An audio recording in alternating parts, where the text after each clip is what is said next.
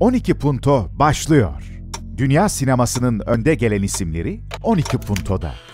12 Punto jüri üyeleri, Oscar adayı Quo Vadis Ayda filminin yönetmeni Jasmina Zbanic, Ken Loach filmlerinin yapımcısı Rebecca O'Brien, Berlin Film Festivali Ortak Yapım Marketi Direktörü Martina Blaze, Asya Pasifik Film Ödülleri Başkanı Tracy Vieira, Memento Film Alım Direktörü Sata Sissoko ve özel konuk Oscar adayı Honeyland filminin yönetmeni Tamara Kotevska.